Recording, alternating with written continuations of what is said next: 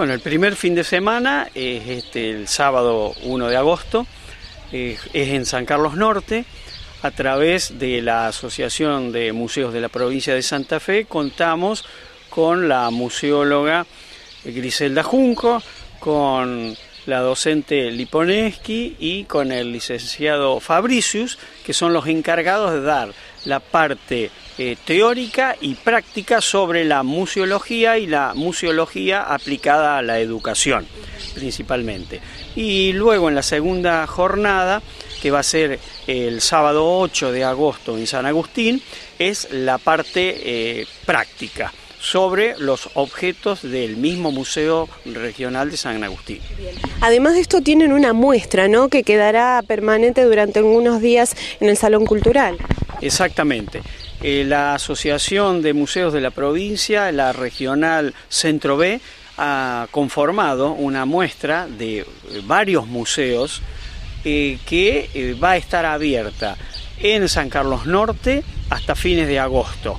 Así que va a estar a disposición los domingos por la tarde y si no, por la mañana, de lunes a viernes, también puede ser visitada. ¿Qué importancia tiene para ustedes eh, y para la comunidad este, este tipo de eventos eh, con profesionales tan destacados? Sí, realmente es importante por el hecho de, eh, de llegar a, este nivel, pero lo más importante es que la gente del lugar pueda acceder a, este tipo de conocimientos y eh, sobre todo que lo que les va a aportar es no solamente conocer su lugar, sino reconocerse en su lugar, que es lo que les va a permitir que se comiencen a involucrar y sentir propio todo lo que respecta a San Carlos Norte. ¿Qué objetivo tiene hoy por hoy este Museo Pedroniano en la comunidad de San Carlos Norte?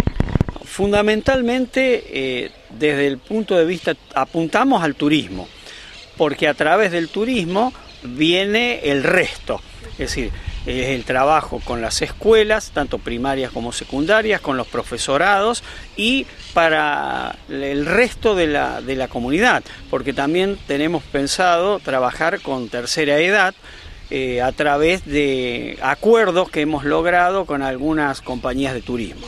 La gente de museos hoy en su presentación y en su charla destacó ¿no? y valorizó un poco eh, eh, a este museo en particular. Sí, porque es uno de los últimos museos, además trabajaron, la museóloga Griselda Junco trabajó en la realización de este museo y está como modelo en los cursos vía web que están dando a nivel provincial.